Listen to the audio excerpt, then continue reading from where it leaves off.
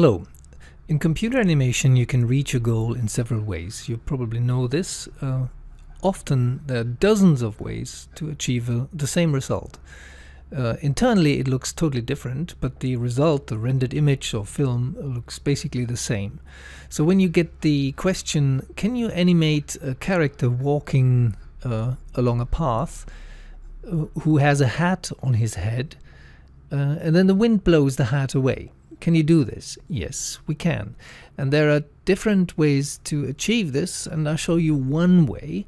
Uh, and I start, and that's a typical thing for computer animation as well, with a very simple scene, uh, which basically has all the technical stuff in it, although it doesn't use a character, it doesn't use a hat, but uh, then going from that scene, once you've experienced, okay, th this is how it works, you can go to the complex scene. So don't start with a complex scene, start with a simple scene. Okay, let's go hunting. The objects we start with can be as simple as possible. For example, a cylinder. And uh, I've colored it I've prepared a Lambert shader already. I color it yellow and I move it all the way to the left. And I extend the frame range here for the animation to 400 frames. And I'm at frame 1 and I could press S now to set a keyframe for the position of this uh, object, but instead uh, I'll press Shift W, which only keys the translation parameters only the translation uh, parameters are keyed, uh, the rotation and scaling, etc. is free. It doesn't really matter for the purpose of this uh, tutorial. W is, as you know, the translation uh, key for um, for the movement, and um, so that's what I'm using. Shift W again, so I'm keying both positions, and uh, I don't want the cylinder to slowly start its motion and slowly end the motion. Now it slows down. Uh, I go to animation editors and choose the graph editor and here I see what is the problem which is not a real problem. That's a slow start that's a slow end. Uh, I select this curve and break the tangents. This is a tangent and this is a tangent. I break the tangents by clicking on this icon here. So it's a straight curve now which means the animation starts at the same speed as it is in the middle and as it is at the end. Now um, I need the hat, and the hat can be, for example, a cone, and uh, I color the cone with my Lambert 3, it's red. Uh, you don't have to do that, of course, but it's always nice to uh, play with these things. Um, I make the hat slightly bigger like this. And now I need to make the hat follow that cylinder. In order to achieve this, you need to know the term. It's called constrain. And if you go to the help menu, you can click on find a menu, type in constrain. And then Maya will list all the commands which have to do with constraint, and uh, most of them are under FX. That is meant by this here. But the one we need here is um, under animation. It's the constraint menu here. The constraints always work in this way. You select the master first and then the slave. So the master, the object which is in command of the motion here, is the cylinder. And then I shift select the um, the hat which needs to follow that uh, cylinder. And then I choose one of the constraints. In this case the point constraint. For example if I chose the scale constraint uh, every movement of the cylinder would be neglected by the hat but uh, whenever I scale the cylinder, make it longer or thicker, for example, the hat would uh, scale accordingly. No, I want the point constraint, and uh, this is how it works. The um, hat jumps to the center of the uh, cylinder. Now I want the hat to sit on the uh, cylinder. Uh, let's first check if the constraint works. It works all right. Uh, I want the hat to sit on the cylinder, which is a very basic thing which you need to get under control. The easiest way is to uh, change the pivot of the hat to something like this. That's, that's fine. We press insert again, so now the hat is on top of the runner. That's perfect so far.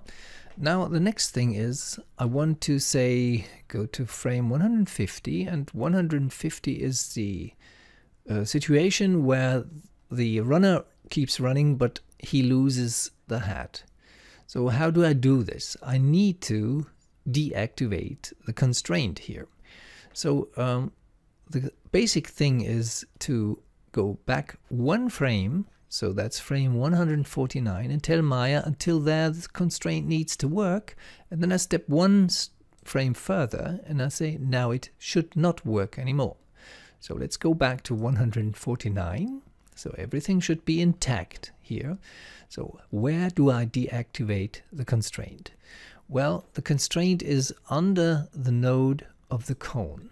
It's called p cone 1 point constraint 1.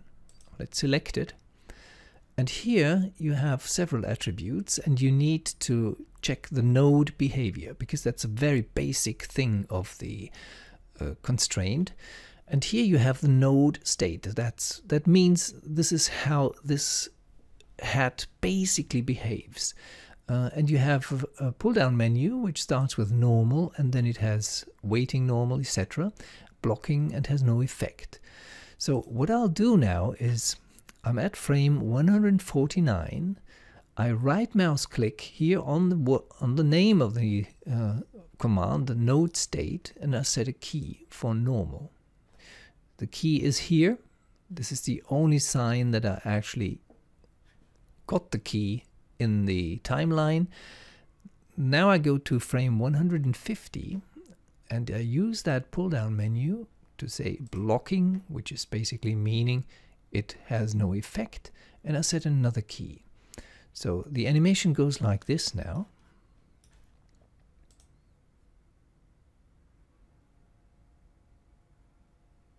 Approaching 150 and now the runner keeps running and the hat stays there. Well, we're not done yet because now we need the wind to come into the game uh, you want the hat to be blown away. And uh, there are several ways to do it, but basically you deal with a dynamic system when the wind comes into the game and a keyframe thing uh, until the wind comes into into the game. There are two paradigms basic systems in Maya. One is the dynamic system, where the objects follow dynamic forces, gravitation, for example. And uh, the other system is the keyframe system, where you have keyframes. Actually, there's a third one which deals with equations and set-driven keys, etc. Uh, in this case, we need wind. That means a dynamic system, and we have already keyframes and uh, effect here, which we deactivated at frame 150. So uh, the simplest thing to do uh, to proceed is to actually copy that object, the hat in this case, uh, not at any frame, but at frame 150. That's when it gets free. So this needs to be copied. Control D, it's a duplicate now. Now I need to deal with visibility, which is very simple. So um, this cone needs to be invisible until frame 149. So uh, let's go to the visibility. Where is it? It's the cone shape, shape and the object display and here is the visibility and we can key that. Right mouse click key. It's not visible right here. So set a key. We go to frame 150 check visibility to on and set another key. Now the object um, appears at frame 150. And now we need to do a similar thing with the previous object, that one. Uh, so let's go to frame 149 and this is selected so we key the visibility we go frame one frame further and we uncheck visibility and set a key again so now the animation looks like this and we're ready for the dynamic simulation so that's another that's a different cone from the one we've seen before. It's a duplicate. The other one is not visible anymore. It sits basically here.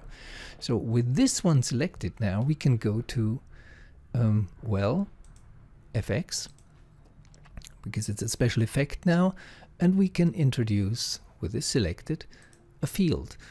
And I think a good start is always the turbulence, because it gets makes things really dynamic the turbulence already works, but the hat is invisible. Now it's visible, and here you see how it works.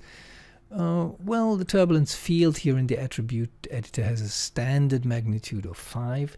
Let's um, say, uh, well, actually, let's go back to frame 150 or 48, 49, and set the magnitude to 0. So it doesn't do anything. It just sits there and waits, but it's a dynamic object already. And once a frame further at 150, we raise the magnitude to say 30, which is quite a good value for uh, a nice um, simulation, dynamic simulation. So now the simulation looks like this. That's the old cone, that's the new cone, and the new cone starts flying away. We can of course increase the magnitude here to, well, say 200 and set another key. We're currently at 162, so that's pretty close to the uh, uh, time when they separate.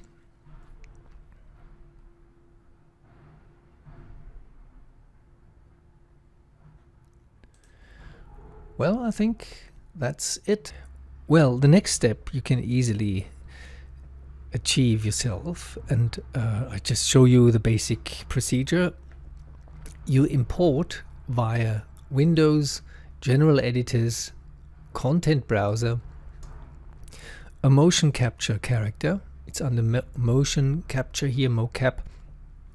In my example, I use the Walker number one, which is a Maya ASCII file and uh, you just drop it into the scene.